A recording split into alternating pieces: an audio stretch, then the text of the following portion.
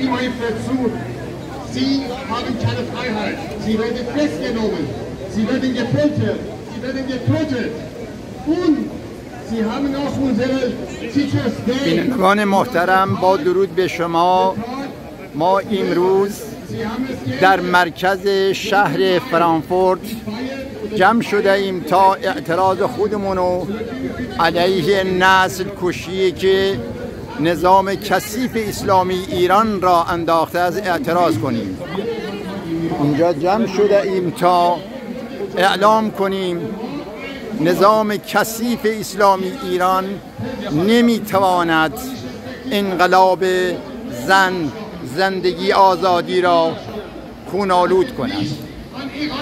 اینجا جمع شده ایم تا بگوییم نظام کثیف اسلامی ایران یه حکومت فاشیستی است که جز کشتار قتل عام خونریزی در کارنامه سیاهش چیزی دیگه ای نخواهد یافت. حکومت کثیف اسلامی ایران بدوند. آخر روزهای عمرشو داره به پایان می‌برد. و من همینجا به مردم ایران اعلام میدارم. توی خیابان ها بمانید خواهشن بمانید توی خیابان ها ما اعلام میداریم همینجا. تا نظام کثیف اسلامی ایران سرنگون نشود خیابان ها را خالی نخواهیم کرد. ما در خیابان ها دست در دست شما شونه به شونه شما دوش به دوش شما خواهیم موند تا این حکومت تروریستی و کثیف اسلامی را به زبالدان تاریخ بیندازیم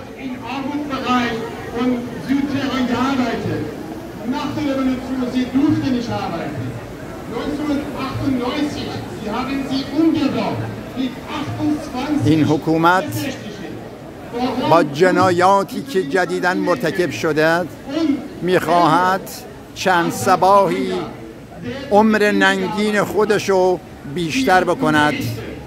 ولی این روزها آخرین روزهای عمرشو دارد به پایان می‌برد. محمد امین کمانگر عضو حزب کمونیست کارگری ایران شهر فرانکفورت. they get this.